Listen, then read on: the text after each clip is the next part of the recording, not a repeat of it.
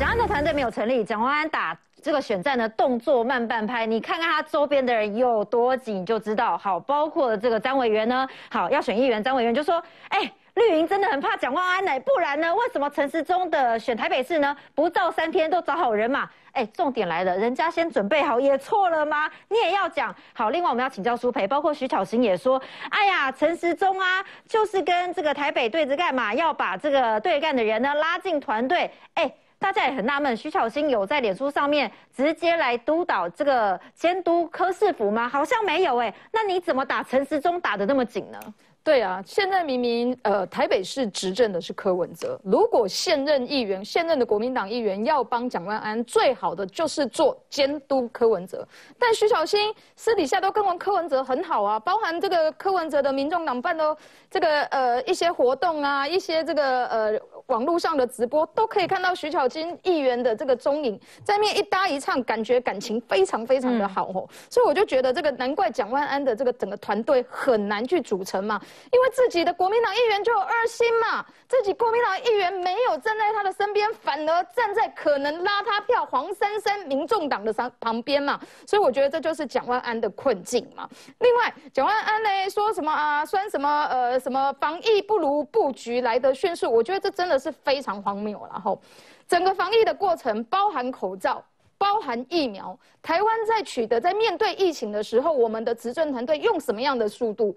如果一般民众不知道，那也就算了。你身为立委的人，你讲这种话，你完全没连倒沙缸。包含你过去讲说你跟美国很好啊，当我们疫苗取得不到的时候，你帮了什么忙？你有帮帮忙吗？你就只那边酸言酸语，然后在那边呛虾。好，现在阿中部长退下执行。执行官的位置了，你居然讲说，人家布局的比你快，你有在那边酸言酸语。哎，我讲一个实实在实际话，国民党现在在台北市有四席的立委，嗯，民进党加林长佐也是四席的立委，我们在第一时间就把我们所有的立委整合起来了。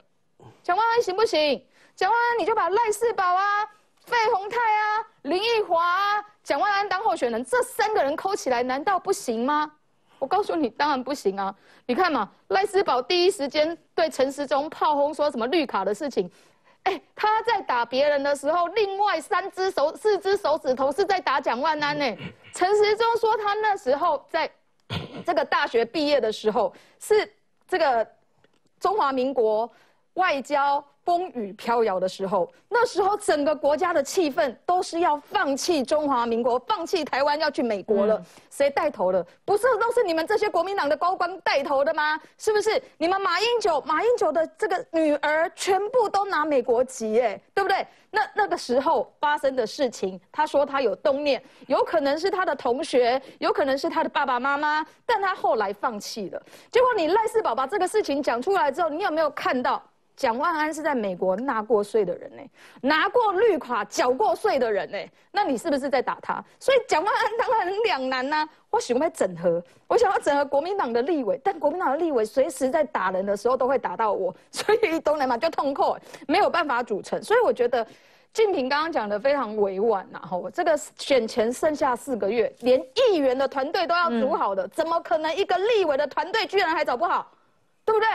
一个立委的团队，起码你对下的组织要抠成抠起来了吧？我刚刚讲的，连你去议员选区办活动，议员都不晓得这件事情，我就觉得是荒腔走板啊。不过，如果国民党要继续这样子自欺欺人，有这种阿 Q 的精神，就像刚刚张委员所所讲的，这种这种精神就很阿 Q 啊，就觉得反正我们很害怕啊，民进党很害怕这个蒋万安啊，所以蒋万安一定会当选啊。那你们就用继续用这样子的精神选下去吧。我想蒋万安在这个，也许在这个二零二二如果没有机会的话，也许二零二六还会有机会啦。因为一其实 阿哥就笑了呢，过后一个四年时间，也许他的竞选团队应该就准备好了啦，好不好？好，不过大家也说呢，当然蒋万安呢现在要打选战，过去大家会觉得蒋万安好像很温和的形象，但没有想到这一次打选战学会了酸言酸语吗？好，我们要请教东豪哥哦，包括呢这个阿丁部长的竞选团队高嘉瑜加入了。蒋万安就笑说总干事，结果呢，立刻就被高嘉瑜说国民党提名到现在，竞选团队架构端不出来，媒体上只看到在公园跳舞、送花给婆婆妈妈、菜市场拜票的万安王子，竟然还有闲情逸致对别人酸言酸语吗？好，正经事都不做，包括了王世坚直接说啊，蒋万安你就是在瞎忙嘛。他也预估说陈时中可以拿到四成三的选票，甚至他预言哦，黄珊珊会讲赢小小赢蒋万安吗？黄珊珊会不会小一脚？好像我现在不敢讲。嗯，没有没有，我想现在还没有人敢这样讲啊。但是呃，陈时中，陈时中，我觉得他的呃后面的爆发力会比较强。嗯，我我直接讲，我因为我永远记得一个一个陈时中自己讲的一个小故事。那在两年半的防疫期间，在二零二零年刚开始的时候，刚开始台湾守的还不错，后来我们逐渐本土有了病例。呃，如果大家有印象，有几次。好像是发生在礼拜六、礼拜天吧，忽然间有了群聚感染，其中有一个是在桃园的那个安养中心中心的，然后还有涉及到医，然后怕怕医院有发生群群聚。陈志忠那时候都是深夜深夜赶快赶回这个防疫中心，事后陈志忠讲说，他后来不敢跟朋友约吃饭，因为啊两次他都是跟人家约吃饭，想说防疫中间。跟朋友见个面，吃个饭，就一吃饭，就刚好出事。嗯，你你说是迷信也好，你说就是管理亏也好。人，我们我们这两年半，我们多多少少跟朋友见面的频的频率都会下降。可是，只要疫情缓和一点的时候，我们还是会碰面的。就你看陈世忠坐在那个位置上，他就不要扛这样的责任跟压力。就是疫情为什么会有破口？因为刚好跟朋友吃饭，所以干脆就不要吃饭。嗯，还有呢，后来都不回家，很长一段时间不回家，就睡办公室。睡办公室干嘛？觉得比较安心，有事情可以马上处理。我不是说你一定要投陈时中，就说这两年半的陈时中其实有还蛮透明的。好，你再回来看黄珊珊跟蒋万安，他们也都是政治人物。蒋万安在立委的表现。有没有展现你耳熟能详的能力？就是你随便随便想到就可以讲出一句。我只记得他站在那个讲台上，为了劳基法的事情。那黄珊珊是什么？黄珊珊会你给你留下的印象是什么？可千万不要像柯文哲讲，没救了。嗯，讲内湖交通，你要当市长，不管你是有心还是无意，你如果对内湖想说没救了。那那住内湖人，大家被放弃了吗？那黄珊珊还是内湖，当时还是内湖的市议员。所以政治人物，你在看看陈时中，看看蒋万安，看看黄珊珊，你看我们可以有很公平的标准，他做了什么？他表现了什么？他的速度，他的效率，他可不可以让你信赖？因为他们都不是第一天出现在荧光幕前，从这东西你。放在那边，你很容易去做一个评估出来。每一个人都可以有自己的标准，没关系。你也可以用蓝绿去做标准，你要用仇恨也可以，你要用希望也可以。可是很实际的一件事情，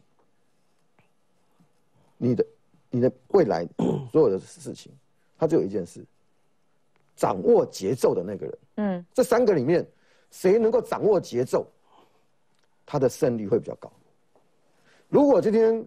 蒋万安的节奏没办法掌握起来，就刚才讲到高嘉瑜，陈时中做法很简单啊，就是台北市四个立委嘛，加上一个无党籍的的林昌佐嘛，嗯，全部抓进来嘛，全部抓进来啊，嗯，全部都进来帮忙啊，然后找吴思瑶啊当总干事，其他人分区督导啊，全部抓进来，为什么？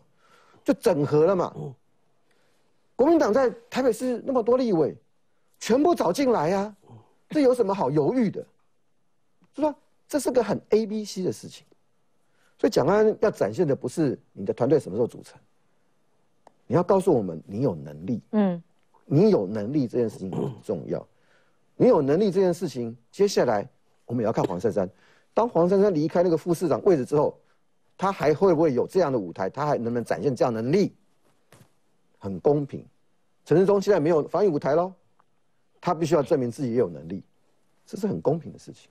好，所以谁到底才是真正有能力可以当台北市长的人呢？可以看到阿丁部长呢，最近开始讲出新来威了，包括台北市要办双城论坛。好，现在上海这边呢宣布十九号正式登场，那么接着呢，台北市府也跟着宣布。那大家就很纳闷啦，那你既然决定十九号就要宣布，那柯文哲之前是在跟议会打马虎眼吗？好，最近这几天呢，又很多的疯狂言论，带你快来看。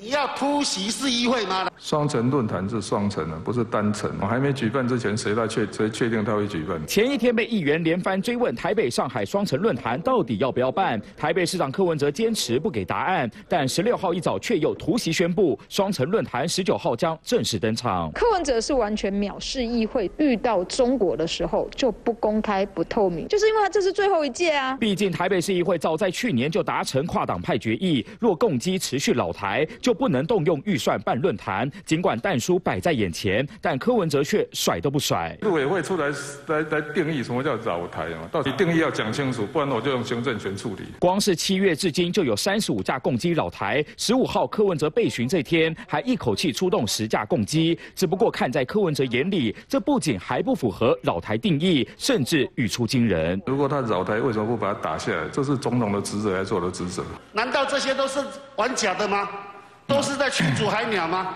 那那玩就玩玩像一点嘛，玩真一点呢。至于共机不时跨越海峡中线，威胁我国领空安全，柯文哲更口出狂言：可以穿过海峡中线，我柯文哲当总统没问题。我当总统，我的飞机也会过中线，你放心好了。他那个强强辩呐，哈，讨债公司嘛是安内走呀。嗯，啊，在你家里面绕来绕过去啊，嗯，对啊，就是这样子啊，那个叫当然是叫滋扰啊，对啊，让你心生恐惧啊，嗯，对，进而变成屈服啊。毕竟柯文哲早就表态，二零二四不会缺席。作为潜在总统候选人，一下说要打掉共机，一下又说若当上总统也要跨越中线，种种言论也令外界质疑他是否有能力妥善处理两岸敏感议题。三立新闻许谦、周凯台北报道。好，相信大家看到这里呢，也很纳闷，说柯市长啊，你叠公啊？上海呢，十六号宣布说十九号举办双城论坛，结果你台北市府跟在屁股后面说，对我们十九号就要宣布。哎，那柯市长，你之前在跟议会是在演假的吗？好，我们要请教赵豪委员哦，因为针对双城论坛嘛，柯文哲讲了好多好多话，好，包括说请总统啊撤回在大这个大陆的台湾人就准备打仗，哎，啊你想当总统，被你当总统还得了啊？准备要打仗了吗？大家说。柯文哲讲话真的很奇怪。如果攻击老台作为总统不能保护台湾，那岂不是当乌龟吗？好啊，那既然那么有尬词的话，为什么不去跟中共讲说你不要攻击老台嘛？好，难道要把这个哦，要不要把攻击打下来，要纳入民众党的政见吗？我我觉得，嗯，柯文哲市长应该要了解一点哈，比如说我们家前面有一位啊不友善的邻居哦，他不时得用。言语或者是用动作拿着刀武士刀在我们家这样比手画脚的哦，那我们知道这个叫对我们来讲是一种骚扰，我们要警觉，跟我们要不要用拿一块石头丢他，这是两件事情哦，或者是我们要先发制人，这是两件事情。那柯文哲的言语其实他应该说这个攻击老台，他竟然要叫陆委会做一个定义，那我想要反问他了，难道他不认为这个叫老台吗？是不是他认为这个已经不清，这个还不算清楚，就是飞入我们的航空识别区，飞过海海峡中中线，这个不算不算清楚的一种扰乱的扰乱侵扰的一个动作，不友善的动作嘛？哦，所以柯文哲市长他也常常用这样子言语，这样似是而呃似是而非，或者叫言语的强辩这件事情来凸显自己了。但是我们要觉得很庆幸，说现场他不是我们国家的领领导人哈，不然动不动就说要把飞机打下来，动不动啊就说就说要飞越，他也要飞越中线这件事情，逞言语之快。好，但是我们要到他认为，如果他是那么一个。强硬的领导人的话，我们那我们要问他一件简单的事情：那你认为现在中国对我们的态度到底是不是友善的？这件事你要回答。好，如果是不是友善的，那你为什么在海峡两岸论海峡论坛这件事情？如果你上海峡论坛的官方网站去看，他摆开开宗明义的，他海峡论坛就是国中国的统战的工具之一，然后他的目的就是要让全世界都认为说台湾就是中国的一部分啊。那在实际上，他这几年来也没有达成任何的一个实质的效果。那为什么一个身为首都的一个市长，明明这就是一个统战的工具，也没有达到任何的效果的时候？你为什么要去做这个动作，去附和附和对方去去做这样的行为？这是我们最大的疑问了。特别是他曾经也在台北市议会已经有提出，好，如果说共军没有停止老台的话，他们就不会继续编海峡，哎，编继续办这个海峡论坛，不参与海峡论坛，或者是大家参与海峡论坛的时候，应该他会经呃经过双城论坛，双城对不起，这是双城论坛，他会经过啊这个呃议会的同意等等，好，但是他却是违反他在。议会所做的这样的一个呃这样的一个承诺哦，在参加这呃双城论坛哦，所以我我觉得柯文哲市长他对啊自己的言语哦这样出出尔反尔，其实对啊不过这向来也是他的。向来也是他的这个行事风格。他其实答应过很多事情啊。如果大家仔细看看，如果说二零一四年从五大弊案开始，或他当选的时候，大家还记得吗？他从他要他他的基呃接触首长，他要进行 i voting，然后选择一个好的人啊，或者他的 SOP 的口罩机啊，或者十连制啊 等等。其实他想过很多事情，他做过很多事情，但是通常我们只记得他在中校西路的拆那个呃那个那个桥，我们大概还有一点印象。他上任不久拆那个桥之后，其实他后续所做的跟他所讲。的其实都是有一个非常大的一个落差，包括包括这个双双城论坛这一件事情，觉得我觉得，呃，最主要就是因为这个对方已经定义成是一个统战的一个会议的时候，身为台北市的市长不应该去附和中国这样的一个行为。好，所以大家也纳闷说，这个双城论坛还要办吗？我们要请教静平哥哦，因为包括柯文哲执政八年以来，没有以同样的规格和其他城市来做交流，几乎是每年都举办双城论坛。大家也纳闷说，这个不是很奇怪吗？为什么要捧中国的场呢？好，你内容都是官方主导，现在就连定下的时间点都是由上海来主导。这个柯文哲这样的动作，那就你来看，你不觉得很纳闷吗？呃，柯文哲说的有些话的观点，我会觉得认同。比如说，这个交流总比不交流好。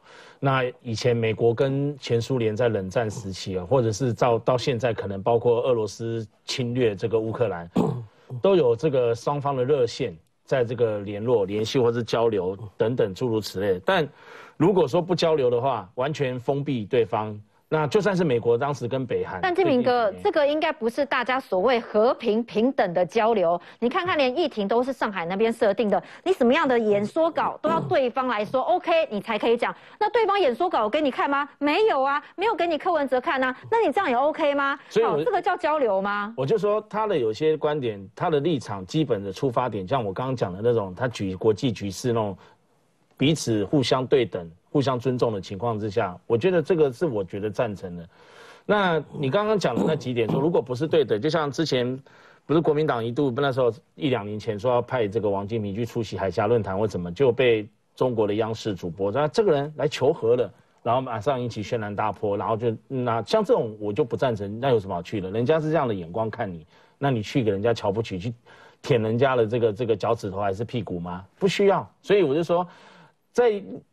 双城论坛，他因为本来每年都八月办，嗯，然后因为这，因为以前主导的都是那个前阵子刚发生上礼拜发生事情那个蔡蔡炳坤副市长，那后来因为想说缩小规模，再加上压缩到八月份，可能柯市府他们自己团队很多的行程，所以提前到七月十九号，也就是明天来举办。但在这个部分最近的氛围，我认为不是很适合，不管是不是上海还是北京，还是谁决定哪哪方面的讲稿，台湾这边台北这边，我觉得不需要。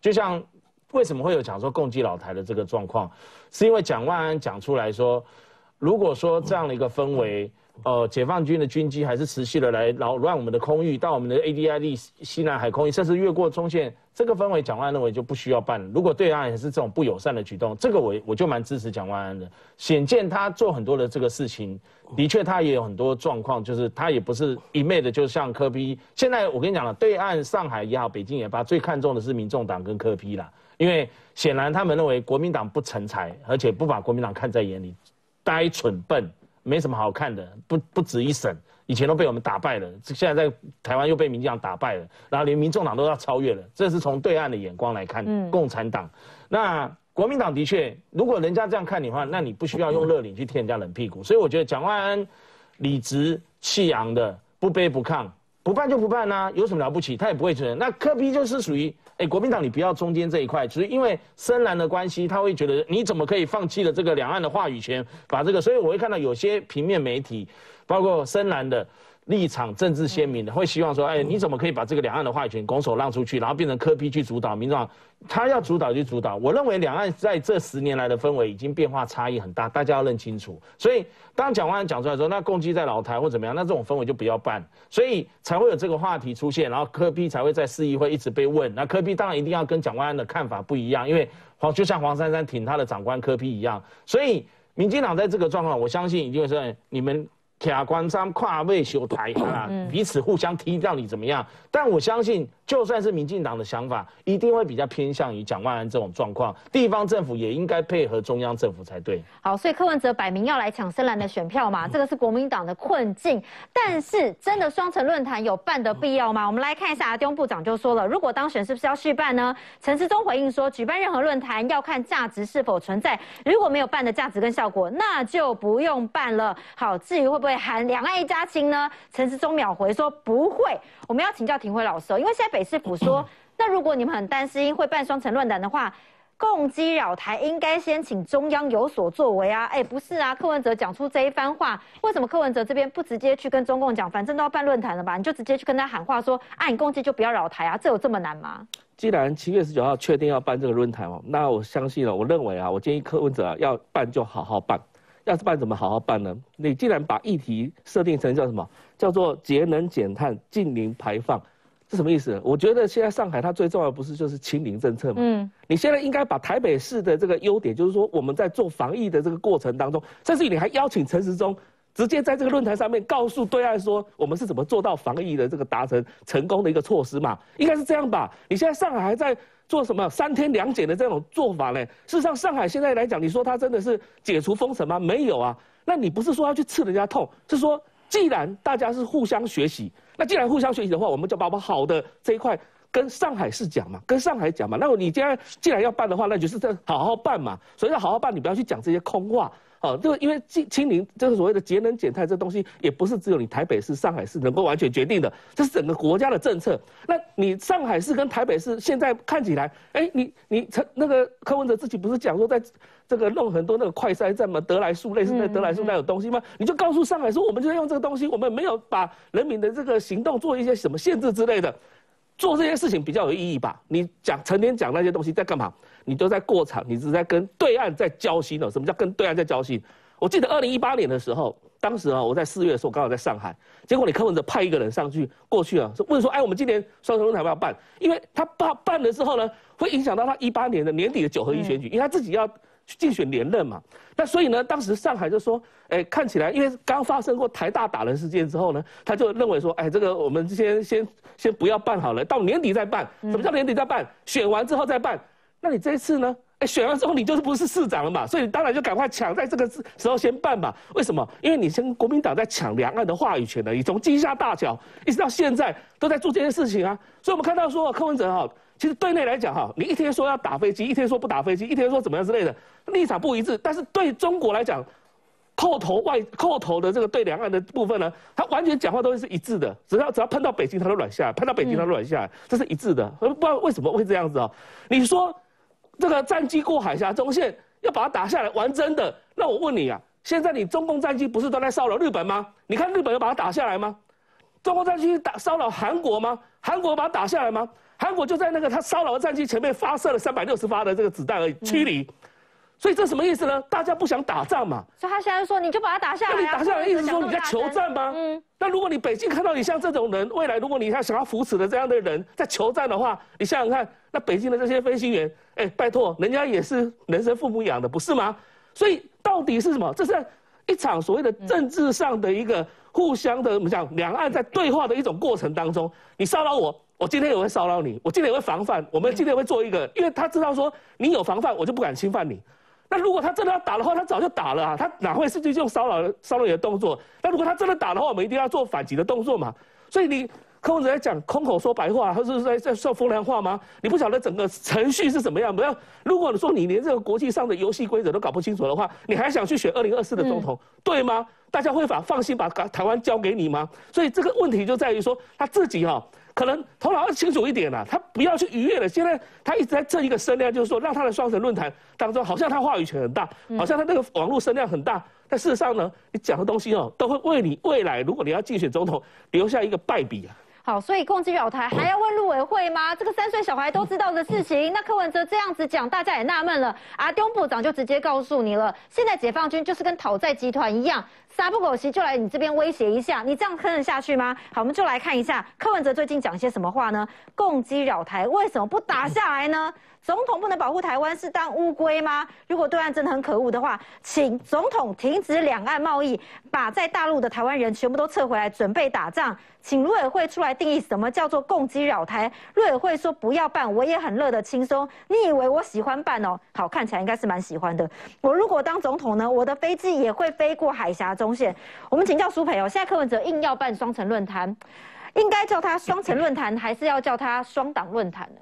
当然是叫双党论论坛啊，因为两个城市有什么必要在现在交流？我跟大家讲一个时间点，你知道我们去年十二月一号，去年的双城论坛才办过，嗯，到现在七月十九号，不过有半年多一点点的时间，两个城市有必要交流？那要交流什么？是，而且我告诉你，你知道去年的交流有一题叫做二零二一年后的疫情产业转型，嗯，我觉得今年为什么不敢办？今年为什么不敢再把这一题放在今年的论坛里面？我就就可以给你拍手，对不对？如果你放进去，我得给你啪就啪破杠，对不对？上海因为封城，整个城市如同死城一样，对不对？大家都要跑出去了。那你柯文哲就是为了求表现嘛？因为这就是你任期后的最后一次，所以对城市来讲没有办的必要。你而且。这个中国的攻击老台其实是一直在加码的，甚至等一下我们要讨论的这个太平洋军演，在两年后还要把台湾拉进去。为什么？因为面对的就是中国对于整个印太。的奇袭，台湾就是其中之一受到威胁最大的地方。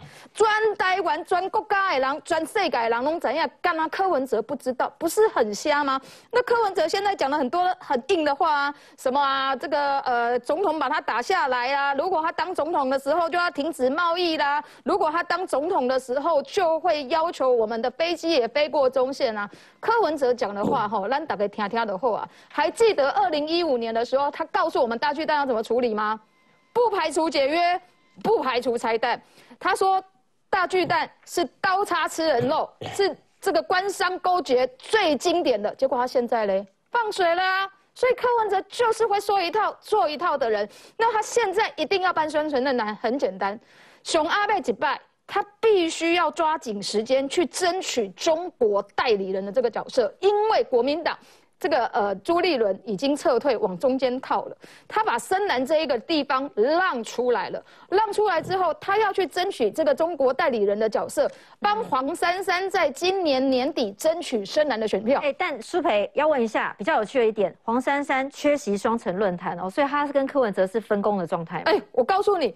当时我们议会在协商这一笔预算的时候，是谁来谈的？是谁同意说，如果共机持续老台，双城论坛就不可以办？是黄珊珊呢？黄珊珊不是只有承诺民进党哎，他也承诺国民党，他也承诺新党，这是台北市议会的决议哎，所以黄珊珊就两面手法。他虽然不出席双城论坛，但他在议会面对这一件事情，还有之前记者在询问他的时候，他也说双城论坛应该要办啊，所以就是两面手法嘛。办的人是柯文哲，得利的人是我黄珊珊，因为柯文哲做了这一件事情，松动了深蓝的选票，谁得利？黄珊珊得利，民众党的小鸡得利嘛。所以对柯文哲来讲，他就是。这个要争深蓝的这个选票。那另外我要讲的是说，陈时中陈部长今天讲的这个比喻，实在比喻的太好了。我们如果面对到一个黑道在你家旁边绕来绕去、绕来绕去，你是会邀请黑道来家里跟你交流交流，还是打电话给一一零叫警察来保护你啊？当然嘛是叫一一零来保护你，还是你你不可能要求黑道来来家里跟你交流。柯文哲现在的态度就是这样子，中共一直攻击老台，在骚扰你，在滋扰你。结果柯文哲说什么？我们两岸不能停止交流啦，这样子充满了敌意。这个国家不是只有对台湾充满敌意，是对整个。世界和平充满了敌意，结果你为了一个人的利益，为了一个人的政治利益，为了你的二零二四，为了你今年年底的选票，你沽名钓誉的把把中国邀请来说要做双城论坛，我觉得这就是瞎到极点呐吼！而且其实也不只是这一件事情啊，包含金金厦大桥都是嘛。他这个金厦大桥丢出来抢的就是深蓝的票，但我觉得这件事情让我不叫讶异的是，国民党。虽然蒋万安有表态，但国民党的议员针对这件事情点积极呢，嗯，都没太多呢，所以我觉得这个国民党也是两面嘛，一方面觉得说，哎，这个这个柯文哲做的事情跟我们的态度不一样，也违反了这个预算法的审查，可国民党议员所有的人完全没有抗议，就放任了柯文哲去讲深蓝的票，所以我觉得，呃，刚刚有谈谈讨论到这个民调的弃保了，吼，国民党如果继续这样子下去。我认为未表态的三成，这些人可能就是西瓜派的，跨到底像像给亚明他多一的导导向。但蒋万安现在所掌握的这三成多的，如果到最后这三成多的人都就是铁蓝，就是铁蓝，就是国民党最铁的那一块。如果这样子的事情，柯文哲继续抢深蓝的票抢下去，然后国民党没有正正确的反应的话，我告诉你，国民党蒋万安这一块票应该会被黄珊珊吃中。好，我们要请教瑞德哥，我国民党为什么 get 点点呢？就是因为这个话题非常敏感嘛。那敏感到黄珊珊两度缺席双城论坛哦，这个是有什么样的用意呢？我觉得台北市长呢，这个等于说今年的选年底的选举啊，会有第四组的候选人叫柯文哲。可问题是柯文哲每次这样的一个发言，你没有发现他最近针对这个包括民进党蔡英文，那么包括这个等于陈时中啊，特别有意见。那么。他连续在台北市议会的几个发言呢，其实我不会觉得讶异，他在抢深蓝的票。个人认为啊，那么八年前柯文哲一个自诩自己一再强调他是墨绿的人，也不过几年的时间呐，竟然变成这种人，那我们看清楚啊。那么勇立起霸有狼啊，一个人不能只听他讲什么话，所以他讲的话听听就算了。一个会去那么中国跟人家在那边两岸一家亲拍中共马屁的人，他当总统的话会说他派飞机飞过海峡中线？呃，请问一下，你派的飞机是指中共的军机让他飞过台湾的海峡中线吗？所以呢，事实上讲这些话是无知无能，那么也凸显他对那么呃这个台湾的这个呃国家安全呢，跟两岸实际的现况跟国际局势完全不了解，他就出一张嘴胡说八道，就是这个样子。所以呢，事实上啊，两岸的问题有两岸的这个呃相关的这个历史背景啊，就像海峡中线一样，他一句老台，他现在讲的话虽然可以得到部分的深蓝的人士可能会赞同他哦，但是你要知道，请问一下，民众党跟柯文哲本来支持他的人是什么？是年轻人。对，年轻人听了这个话是反感的，你知道吗？你想要去讨好这柯文哲，通常都是想要讨好一个一个人呐，一边的人呐，去得罪另外一边的人。你反而把你的旗，你不要忘记，你在二零二零年的政党票还有一百五十八万人投给你，哎，我很好奇，等到二零二四年的时候，你政党票只剩下会只剩下多少？更不要讲你的一个总统票就好了，啊。所以呢，事实上。他现在就是要凸显他自己跟国民党不一样，他比国民党还要国民党。嗯，他敢讲很多的话，然后呢来对干你民进党，把这个讨厌民进党那边拉来我这里。可是你的这个棋可能算错了。八年前跟四年前，你拿到的票，包括四年前你还拿到一半民进党绿营的支持者哦。你现在这几年来，你荒腔走板的这样做的结果呢？最后把这些人全部赶跑了。嗯，你去想去分那只剩下大概不到啊五成左右的啊国民党的票，你能分多少？你能取而代之吗？我相信绝对不可能。在这里的黄建平，对不对哦？我相信他就可以告诉你，某一关代级，你确实可以裂解国民党。当然，这个我是蛮个人是乐观其成啦，就看他裂解国民党，他裂解多少。可问题是你拿不到拿不到国民党的，你列解不到他二分之一以上啦。最后的结果，这边大胆都可以假设，大胆都预测，年底的选举，民众党在县市首长一席都不会上。嗯，然后呢，他的议员只有在台北市会有一些斩获啊，至少可以成立一个呃这个政团呐等等啦。但问题是，其他县市也是一样零零星星而已啊。那么紧接而来，民众党就会泡沫化。你在下次的总统大选跟政党票的部分呢，你也会一落千丈，比起现在来啊，差非常多，跟走上之前几个政党最后泡沫化的一个结果嘛。柯文哲这个人，让我们看清楚一个人的这个真面目哦。那至于说要不要道歉，我我我觉得每个人的看法不一样。身为第一代的柯粉跟第一代的柯黑啊，我曾经在全国的媒体、电子媒体面前道过歉，我支持错人，你知道吗？但是至少你只能骗我一次。我以为八年前你是一个有理想、有有目、有抱负，然后愿意去对抗国民党。他不是说他最痛恨的是国民党吗？对，这种人讲的话，后来我们发现，这种讲的话是不能听的，他跟诈骗集团没什么两样啊，用骗的。骗到你了以后呢，立刻过河拆桥，这就是这种人哦。他的妈妈跟他的那个太太呢，还在骂说，还在批评说，你们这些人怎么骂他怎么样？你怎么不看看你的儿子跟你的这个先生到底是一个什么样的人？你到底知不知道他的真面目啊？那不过庆幸的是啊，那么我们至少他在第一任的第二年就露出马脚，所以要要不然他等现在才露出马脚，我当然民进党被他杀个措手不及呀。那么说来也很讽刺啊。每次看到他露出那个像狒狒一样的笑容的时候，再看看他眼睛那斜斜的那个样子，后来才发现，搞不好连这个笑容都是装的呢，都不是真的。所谓的白色力量，强调公开、清廉、透明，最后是蔡衍明先生说，他在直播的过程当中说，柯文哲都是走最近最近歇业的神旺大饭店到后门进去的，你知道吗？公开、清廉、透明，要求到局处首长都必须要去参加什么宴会，都要跟他报备，当然大家公告、公开上网，让全世界都知道。最后，你竟然瞒着这些两百多万的台北市民跟市议会的所有议员呐，你们悄悄的进去跟允雄集团，不是黑箱密会吗？这就是柯文哲的真面目，讲一套做一套。好，所以有这样的恶邻居哦，为了选票，柯市长你还要笑脸迎人去跟人家交流吗？我们稍后就来看一下俄乌之战。做一个恶邻居的话，你当然要谢谢你周边的喝朋友、好朋友，帮你一起来对付这个恶邻居。我们就来看一下俄乌之战。哎，现在普京还是没有要放弃哦。我们要请教廷辉老师哦。现在俄罗斯的国防部长呢，再下令要加强行动强度。乌克兰情报局说，俄军正在重整。那重整的起来吗？重整要在哪里呢？乌东还是乌南呢？现在英国国防部说，南部的战线，俄军已经开始加强防御了。所以等于是俄罗斯的动作已经从乌东。再延伸到乌南去了吗？对，这有两种说法了哈。一种说法就是说，目前来讲的话，绍伊古他已经看到了整个乌克兰的一个军队呢，他其实在攻击乌东的。这个后勤补给的，也就是俄罗斯的后勤补给的非常厉害哦。那现在来讲的话，就对于乌东能不能再进一步的守得住了？这事实上，这个绍伊古已经下令要求在乌东的所有俄军呢，来重新编整，来做一个计划。什么是编整计划呢？就是说，在因应这种所谓打击后勤补给的这个情况之下，啊，粮食出问题了，油库出问题了，弹药出问题的情况下，他们怎么能够再去持续的坚守乌东这个地方哦？所以呢，其实乌克兰那边也也是讲到一点，就是说绍伊古所讲的话，其实是。针对乌东来的，但是如果是针对乌南来的话，那更更不妙了。为什么呢？你看到了这张图啊，其实，在赫尔松上方这个地方呢，这里有圈起来的一二三四五。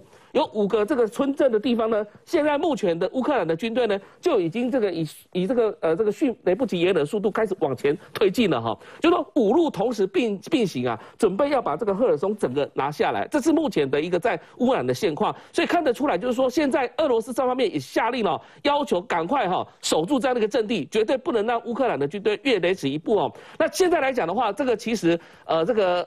呃，俄罗斯的一个军队，他们也更小登休息了。他们现在做什么事情呢？去轰炸那个敖德赛的那个什么鱼叉飞弹的仓库啊！因为鱼叉飞弹哦，是上一次这个不管是黑海舰队哦，补给舰呢，可能被黑海被鱼叉飞弹打中啊，或者是说在这个呃蛇岛上面哦，也有可能被鱼叉飞弹打中。那现在这个北约，特别是丹麦他们所提供的鱼叉飞弹呢，就是证明的是被藏在这个。奥德赛这个地方，那现在呢？俄罗斯就宣称说他们已经打中了鱼叉飞弹，但是打中了这个地方，其他地方没有吗？嗯，你看到它还有很多的问题存在，就是特别是这海马斯多管火箭，待会我们会讲到这个东西。不过到目前为止，我们可以看到。俄俄罗斯他们的一个目前来讲已经被统计了，上一次我们大概一个多月前才三万多，现在已经大概有五万多的士兵已经受受到损害了哈。那现在英国的这个国防部门，也就认为说，那既然那么多的这个俄军受到损害的话，之前我们提到那个志愿营、志愿部队的这个东西哦，可能正在进行这个加速进行哦，特别是从这个偏远的地方找寻这些相关的部队，能够从投入这个战场，显现一件事情，就是说，如果你要守住乌东。然后你要去进行污染的对抗，嗯，你都是要军队嘛，要部队嘛。那你现在俄罗斯的部队不不多的情况之下，又损失那么多，然后你的志愿部志愿营的部队也还没过来，那你到底怎么能够守住这个战场呢？其实这些送上去的都是菜鸟哎，那难道也都是菜鸟，因为死吗？对你马上。马上招募之后，马上就送战场，那不是要他去死吗？那代表说你没有训做过那个严格训练啊，而且你要面对这个乌克兰，他们拿到了西方的这些相关的这个这个重型武器的情况下，你这些乌军他怎么去应应呢？然后他们又飞弹乱打，他们又没有办法说真正的有这个防空系统或怎么样之类的来应应这些东西，所以就是变成说你把自己的子弟兵送到战场，这是非常非常一个残忍的事情啊。所以我们前面有提到说，因为你乌克兰的这个在乌东的这个策略整个改变，他他不打你不是直接跟你正面迎战，他打你的补给库，打你的后勤，而且他打什么？又打到是俄罗斯的境内。所以今天又有人发现了一件事情哦，你看到在库尔斯克地区，什么是库尔斯克地区？其实哈尔科夫在往上走，比尔格莱德在往上走，就是哈尔科哈尔科夫哎库尔斯克这个地方。那库尔斯克地这个地方呢，其实它已经距离大概这个俄罗斯的边界已经将近快八十公里左右了，连这个地方的油弹库跟补给库也都在夜晚的时候被轰炸掉了。那什么意思呢？这个。乌克兰的军队，它不是单单只是轰炸乌东的这个。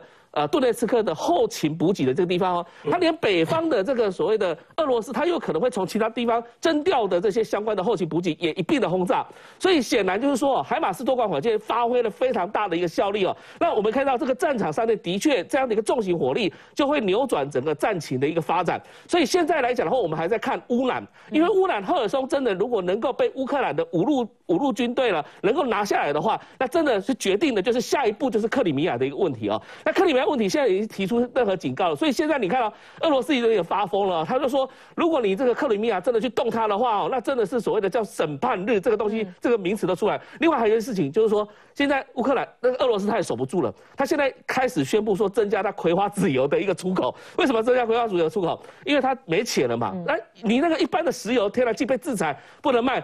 哇，这大家现在全球都在需求这些呃粮食啊，或是一些这个食用油啊，所以呢，俄罗斯竟然到最后呢，现在已经动到下一次就花生油，对，葵花籽油，因为他们那边出出产比较多葵花籽油，一天来讲的话，现在已经增加四十万吨了。好，所以大家也说呢，这个海马斯多管火箭的确让俄罗斯蛮害怕的。为什么呢？我们要请教静平哥哦，因为包括好几个礼拜就摧毁了超过三十个军事设施，俄罗斯的军事设施。那现在乌克兰这边也说，不排除会来袭击克里米亚哦。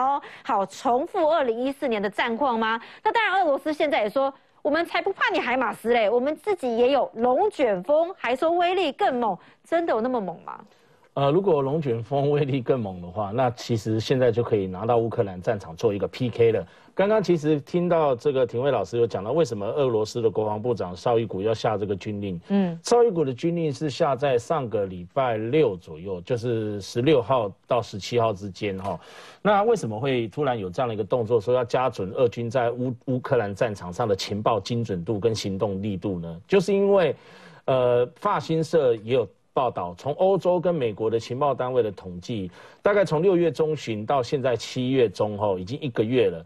光是俄罗斯在乌克兰的战场上，就有这个三十几个、三十几个俄军的后勤跟补给中心，还有他的一个重要的军事指挥的这个地方，遭到海马斯这个火箭它的一个精准的攻击，甚至 N 两拐洞。那乌克兰的国防部长列兹尼科夫他有提到说。呃，盟军提供他们的 N 两拐洞已经第一批到位了。那第一批到位，其实列兹尼科夫的说法是相对保守，我觉得这这也是对的，因为很多军机你不要讲的太明诶，这里这这个这可不像选战，讲很多的选战有些也要保密，这个是真正的军事行动，是一个一场战争，所以有些状况，因为前前面之前那个 N 两拐洞送到乌克兰战场的时候，当时大家都猜测应该是挪威。那几个国家，挪威，然后他们援助给乌克兰的这个 N 两拐洞的这个美制的武器，那是不是确实就是挪威跟英国这几个盟国？那列兹尼科夫他也没有讲得很清楚。我相信包括挪威、英国，包括甚至美国在内，一定都有，因为这些都是公开讲过要援助乌克兰的，而且越多越好。乌克兰也希望真的能够多多益善，因为 N 两拐洞还有海马斯，光是讲我先讲海马斯。海马斯它就是这个，本来它是一一个是轮型的，一个是履带的。履带如果变成轮型的话，就是我们刚刚讲的这种海马斯的这个它的多管火箭系统。那 N 两拐洞跟这个海马斯，它的上面如果是改成 N 幺四两的陆军战术的这个精准这个弹道飞弹的话，它的射程可以提高，提高到一百二十到一百五十公里以上，而且。重点是连你看这个是在乌克兰境内发射的这个它的 N 幺四两的一个这个它的一个飞弹的情况，结果当时连俄罗斯的这个 S 四百 SAM 四百的这个防空系统其实都拦不住，所以刚刚举经理跟我说，呃龙卷风还有什么好了拿出来用嘛？你还有什么苏凯五十七可以吧？要拿早就拿出来用，不会到现在还在那边自夸。或是匕首超级音速嘛？你不是之前已经打过？乌克兰的这个什么训练中心，甚至百货商场，这个 shopping mall，匕首都拿出来打了，那你就用匕首去对付这个海马斯啊，对付两拐洞啊？你看，哎，两拐洞跟这个海马斯有没有招架之力？而且我要跟大家讲的是，也是在上个前两天的事情，俄罗斯的这个在塔厄塔夫里斯克的俄军一个指挥所，有十二个俄军的高阶的这个军官被当场炸死，那是被这个。海马斯火箭系统，那其中俄罗斯的这个第二十二军团的参谋长叫纳斯布林少将，他也在那一场战役当中被炸死了。这是从俄乌开战打了这么多天以来，后这个俄罗斯侵略乌克兰，他所损兵折将的这个少将，应该算算没错的话，至少是超过十二名的，包括这个在内。所以你看到俄罗斯的。将领是一直在牺牲的，嗯，然后连高级的这个军官指挥所都被炸，所以为什么我刚一开始破题要用这个借用刚刚林廷慧老师所讲的那个俄罗斯的国防部长绍伊古要下这个军令状，他就是回应这一些，包括在克松、还有卢甘斯克、还有新卡霍夫卡这些地方。以及斯拉夫扬斯克，斯拉夫扬斯克是乌东的一个铁路转运站，一个很重要，四通八达，它可以往北、往南、往东、往西。那俄罗斯虽然拿下了利西昌斯克，但是还没拿下斯拉夫扬斯克，这两个是双子城，隔着一条北顿内茨克河。俄罗斯一直很想拿下斯拉夫扬斯克，偏偏拿不下来，所以呢。俄罗斯对这些地方狂轰猛炸，那乌克兰拿到了 N 两拐洞跟海马斯之后，他也不是省油的灯，他也回敬你俄罗斯，而且反攻你乌南的克松州。我刚刚讲的那个塔夫里斯克，十二个俄罗斯军官死于那个海马斯火箭系统爆炸，它会产生长时间的爆炸，而且它攻击的是俄军的指挥所之外，还有它的后勤补给中心跟弹药库中心。那它的这些弹药库，因为海马斯爆炸之后呢，它就引起大规模的一连串的爆炸，所以上绍伊股才会火大，然后叫。俄军说：“你要加强你的情报的准头，你必须掌握乌克兰这些部署在哪里。”言下之意就是说，最近俄罗斯是不是跟伊朗买了很多无人机？伊朗成立了一个无人机的这个这个它的一个这个飞行的一个大队之后，俄罗斯也要学这个伊朗。这个时候他开始去搬这些无人机，想要去探知，然后战场上的 C4ISR，它的战场情只管通知勤监侦，你就知道说俄罗斯其实。他已经有点急了。好，不过我们大家说啊，俄罗斯现在也像讨债公司一样，那要怎么样对付讨债公司呢？警察要来喽！美国警察现在说呢，要训练乌克兰的飞行员，俄罗斯接下来要小心了。休息一下，马上回来。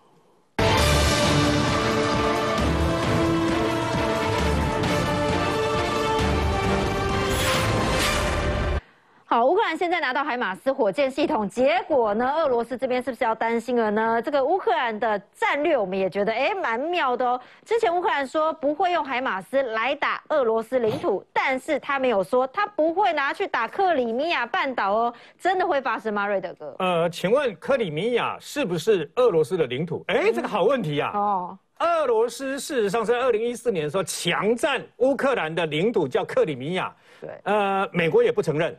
乌克兰也不承认。那请问一下，那么乌克兰的总统泽伦斯基曾经答应拜登，就是说绝对不会用美国所支援的海马斯火箭弹哦、火箭炮系列呢去打这个俄罗斯的领土嘛？可问题是克里米亚不算他的领土啊，所以呢，这并不在这个承承诺之列啊。那除此之外呢，如果你要相信俄罗斯的军报的话，那我告诉各位，俄罗斯的军报继续发展下去，继续这个等于说啊，这个不断的对外发布下去啊。那么他们所击毁的啊，美国支援乌克兰的海马斯火箭那个火箭炮系列啊。可能会超过美国所提供的，你知道为什么？因为他都都在胡说八道啊，他都在造假。他现在已经公布的这个呃摧毁，已经摧毁了好多了，你知道吗？就在这几天他又公布，那么他又摧毁了啊，又摧毁了相关的这个，包括海马斯火箭发射系统啊，M 拐拐拐的榴弹炮，然后这些都被他摧毁了，一大堆东西都被他摧毁等等啊。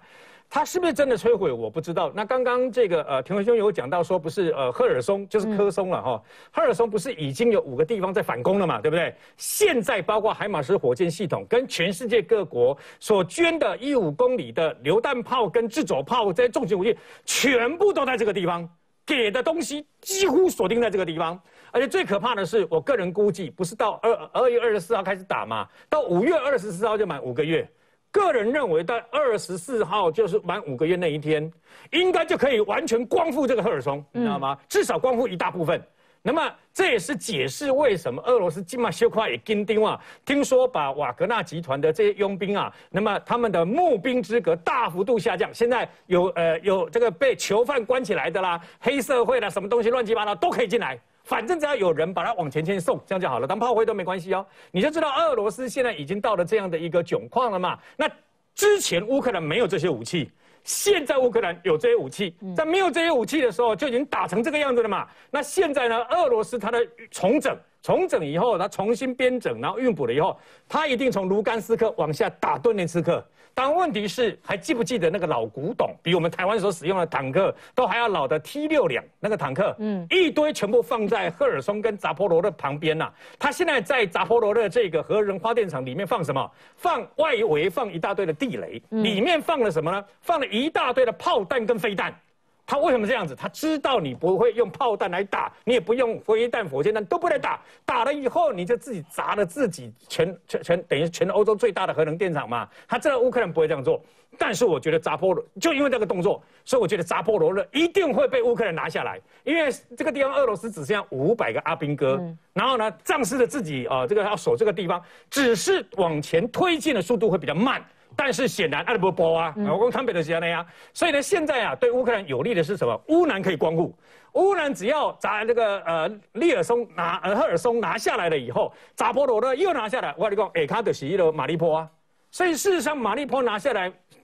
现在反而被乌克兰包围，那下那马利坡旁边的顿涅茨克，你又拿不下来，有一半现在还在乌克兰手上。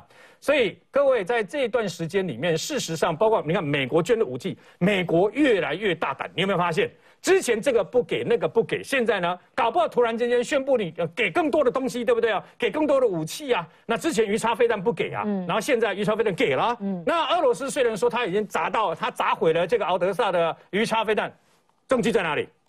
你要把证据拿出来给我们看嘛？好，所以美国接下来动作是不是越来越大胆呢？我们要请教庭辉老师哦，因为包括美国说要训练乌克兰的飞行员，这个背后代表什么样的意义呢？对，我们要知道，如果美国愿意提供那么重型的武器以及那么先进的武器给乌克兰，嗯，那你看为什么不在第一阶段的时候提供呢？为什么在第二阶段、第三阶段才提供？其实就是说，代表开始在信任乌克兰，至少未来他不会再转向投靠在俄罗斯的阵营吧？那如果说你现在开始帮他训练飞行员，那如果他驾驶的是一个西方。的这个，比如说 F 十五、F 十六的飞机战机的话，那如果以后他要投靠俄罗斯呢？那不是把相关的机密又卸给俄罗斯吗？所以代表什么意思呢？就是说现在开始，美国已经开始信任泽伦斯基，未来他们是不会去亲俄的，甚至亲中的。那为什么这么讲啊？你知道以前这个俄乌克兰有很多军火都是卖给中国。对。如果我今天美国替你训练飞行员，然后给你 F 十六之后，结果你 F 十六就转手给中共，那还得了？所以对，告诉别人了嘛。所以现在来讲的话，其实是一个乌克兰的转机哦。什么转机呢？他也要全心投靠西方的一个重要转机。再来一件事情，就是说战争一开始的时候，我们都大家都知道。俄罗斯、乌克兰其实双方都没有取得所谓的制空权。那当时泽伦斯基要求西方国家要赶快哈，就是说北约国家至少要宣布所谓的禁航区。结果西方国家也没有答应。但是到现在为止呢，你可以看到一件事情哦，因为这是国会通过的预算，说要训练飞行员，等到明年的时候，飞行员才能够正式驾轻就熟的驾驶西方的飞机。那到时候呢，是不是整个代表说第一个战场已经清空了？也就未来来讲的话，是不是俄罗斯会在从明年的时候可能会有撤军的可能性？第二个，如果制空供水要再取得的话，那俄罗斯在入侵这个乌克兰的时候，事实上就有这个那个乌克兰的 F 十六也好，或者 F 十六也好，来对抗这个俄罗斯的这个侵略。所以我们可以看到这。